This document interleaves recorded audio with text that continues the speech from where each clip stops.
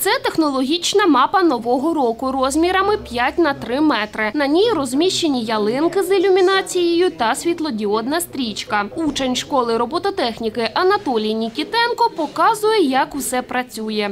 Кожна йолка це один часовий пояс, і за весь рік е, наша космічна станція е, відмічає новий рік е, десь 16 разів.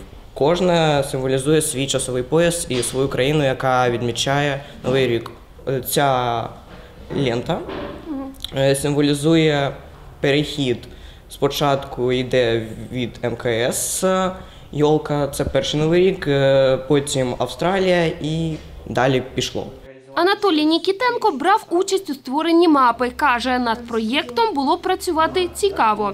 Спочатку все починалося як е, звичайні уроки. Е, Наші учні е, спаювали ці йолки. А потім ми придумали цю ідею і об'єднали всі йолки та карту. Я все робив.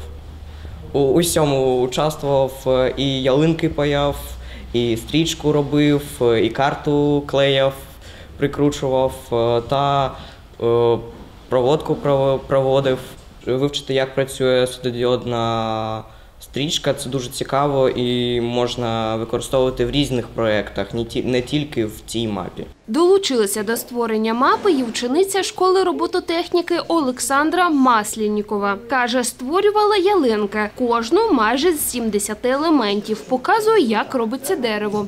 Схема, по которой позначено, как все и где нужно вставлять. Це схема, на якій позначено, як все і де потрібно вставляти. Ось, наприклад, зараз паяємо світлодіод, і на нього є спеціальна частина там, де ось так виділено все. А є ще друга плата, там, де потрібно все так підставляти. І воно все спаюється, потім працює, коли все дороблено саме правильно. Над проєктом працювали 15 учнів віком від 8 до 14 років та 4 викладачі, каже голова громадської організації школи робототехніки вперед у майбутнє Денис Кабаненко. Створювати мапу нового року розпочали у грудні 2020-го. Наше головне завдання було зробити якийсь проєкт, який би заучав а дітей, е, б заучав е, дорослих.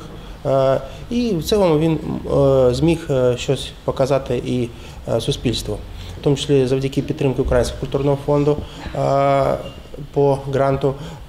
Ми отримали е, заробітну платню і якби, почали роботу, але матеріали це все вже наше. От, і ми зробили перші шаги, зробили е, карту, мапу і перші ялинки.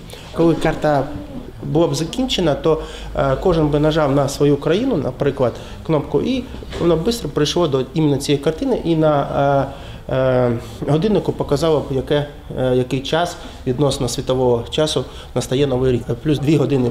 У планах підлітків та їхніх вчителів встановити на мапі нового року більше ялинок, зробити так, щоб вони запалювалися автоматично за допомогою мікроконтролерів, додати ще світлодіодну стрічку з різним типом освітлення та розташувати QR-коди на мапі. Таким чином зробити її інтерактивною з технологією доповненої реальності. З новим роком та різдвом! Дар'я Пасічник, Геннадій Корчененков. Новини на Суспільному. Запоріжжя.